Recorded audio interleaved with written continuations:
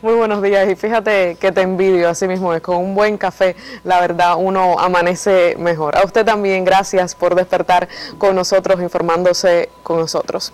Bueno, la pasada semana estuvimos aquí comentando sobre lo que iba a ser inminente, el inminente discurso de la aspirante todavía no es candidata oficial a las elecciones presidenciales de Estados Unidos por el Partido Demócrata Hillary Clinton en la Universidad Internacional de la Florida, FIU, son las siglas. En una de sus primeras apariciones públicas, donde además trazó sus líneas de mensaje en política exterior, específicamente en América Latina, Clinton, ex secretaria de Estado, ex primera dama, habló de Cuba profusamente. De una vez por todas debe acabarse el embargo a la isla, así dijo la ex secretaria de Estado, hoy aspirante. Clinton apeló al presidente de la Cámara de Representantes John Boehner y al líder del Senado Mitch McConnell para que den un paso al frente y dice ella, respondan al pueblo cubano dijo, parte de una demagogia política clara. Quizás lo que deberían hacer es escuchar al pueblo norteamericano que sí quiere tener relaciones normales con Cuba, así dicen las encuestas. En Miami, precisamente, en el bastión de Jeb Bush y Marco Rubio se opuso a la política que se ha defendido con uñas y dientes desde allí mismo. Allí propuso un cambio de política difícil para muchos oídos, pero bien recibido por otro y un número importante, más silencioso mediáticamente que los que permanecen en la animosidad hacia Cuba. Escuchemos lo que dijo. La precandidata demócrata a la Casa Blanca y exsecretaria de Estado estadounidense Hillary Clinton dijo este viernes que el embargo contra Cuba, vigente desde 1962, debe terminar de una vez por todas. La declaración fue hecha durante un discurso de campaña en Miami, bastión de la comunidad cubana en Estados Unidos.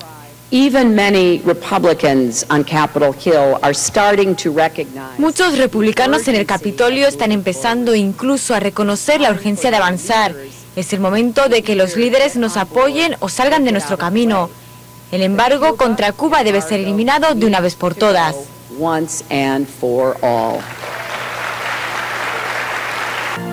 Clinton ofreció un discurso en la Universidad de Florida, menos de dos semanas después de que Washington y La Habana reanudaran oficialmente sus relaciones diplomáticas y reabrieran sus respectivas embajadas tras medio siglo de hostilidades. La precandidata aseguró que de ser elegida continuará la política de acercamiento iniciado por el gobierno de Obama. En eso no hay noticias. El hecho de que para que el proceso de avanzar en la normalización eh, suceda, Clinton debe eh, ir después de Obama. Eso sería muy positivo. Pero hay que aclarar que la conclusión que se puede sacar de todo lo que dijo en la universidad es que esta política, la nueva, persigue cumplir lo mismo que el bloqueo, pero consideran que esta es más efectiva. Ella misma reconoció que ha evolucionado en la posición en el tema y dijo más la importancia que tiene esto para América Latina. Indiscutiblemente es un tema que ella ha posicionado y dijo, durante años nuestra política hacia Cuba ha impedido nuestra habilidad como país para liderar en la región. Muchas veces miramos hacia el, hacia el oriente, hacia el oeste, pero no miramos hacia el sur. Ninguna región en el mundo es más importante para nuestra prosperidad. Es el reconocimiento, indiscutiblemente, de que normalizar, llegar a una normalización con Cuba es muy importante para su papel, para el papel, para recuperar la influencia y la hegemonía de Estados Unidos en América Latina. Los medios en español del sur de la Florida se refirieron a la locución del aspirante. Además, el tema Cuba y el restablecimiento, así como la futura y potencial normalización, llena horas, horas y horas de transmisiones televisivas de las televisoras en español del sur de la Florida. Días antes, uno de los aspirantes por el Partido Republicano fue entrevistado sobre esto. El que tiene más posibilidades por ese partido, Jeb Bush, ofreció sus declaraciones al periodista José Díaz Valar, parte de la familia Díaz Valar, una familia muy reconocida por un amplio trabajo durante décadas para fortalecer el bloqueo y e, entorpecer cualquier proceso de normalización o restablecimiento con Cuba. Además están en contra de todo lo que está sucediendo después del 17 de diciembre. Bueno, uno de esos hermanos le hizo una entrevista a Jeb Bush y veamos lo que respondió a la pregunta de qué piensa sobre lo que ha hecho Obama en la política con Cuba. Estoy totalmente, totalmente en contra. Yo creo que la política eh, debe ser que siempre queremos la libertad en Cuba, queremos la democracia, queremos cambiar la relación, pero basado en hechos. en, este caso ni, ni promesas eh, ha recibido para hacer esto. Hay que, hay que ser vigilante y este presidente no reconoce eso. Bueno, ya vimos lo que piensa Jeb Bush sobre esto y lo que pudiera pasar si sale de presidente. La verdad para él, como para Marco Rubio, es duro escuchar a Hillary Clinton, eh, que fue a Miami, como se dice en Cuba, a bailar en casa del trompo, donde tiene su primera base los que más dinero han hecho de la política contra Cuba.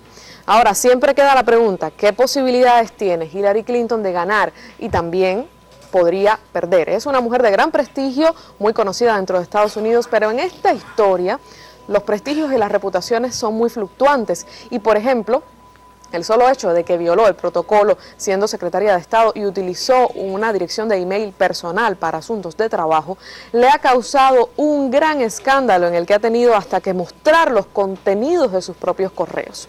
Es decir, que esto puede pasar con otros temas también para Hillary Clinton, queda tiempo todavía hasta noviembre de 2016 cuando sean las elecciones presidenciales. Jeb Bush, por su parte, va bien. Sí, aunque Donald Trump, del que hablamos el viernes, el elemento de entretenimiento de estas elecciones, lidera encuestas, es un extremista ególatra, en contra de todo y ayuda a hacer parecer a Jeb Bush como un candidato serio y hasta, después de escuchar lo que dice Donald Trump, hasta moderado. Así que hasta ahora parece que ahí se definirá entre Jeb Bush y Hillary Clinton. Pide la Clinton levantar el embargo. Yo preguntaría, ¿por qué no le decimos bloqueo? Porque lo que es es bloqueo, aunque les conviene desde el punto de vista discursivo llamarle embargo, porque la política es más que sanciones económicas y algo que no podemos dejar de tener en cuenta es que el fin sigue siendo refundar Cuba y abrirla a políticas neoliberales y a los desmanes del mercado y cambiar el sistema político para que éste se ponga al servicio de los intereses del mercado y de paso de Washington. El 14 de agosto, cuando se hizo la bandera estadounidense en la ya embajada será un buen día, como lo fue el 20 de julio para Cuba en Washington. El respeto y la cooperación debería ser lo que rija las relaciones diplomáticas entre dos países y eso será posible a partir de ahora. Mucho por construir en el futuro, por eso hay que observar quién ocupará la silla de Obama el 20 de enero de 2017. No me gusta levantarme temprano, pero lo he hecho, así que estaré bastante en esta revista hoy dentro de un momento con el colega Lázaro Manuel Alonso. Me sentaré a conversar sobre un tema bien interesante del que no soy especialista, pero indiscutiblemente vale la pena compartir la mañana con usted y con estos colegas. Buenos días.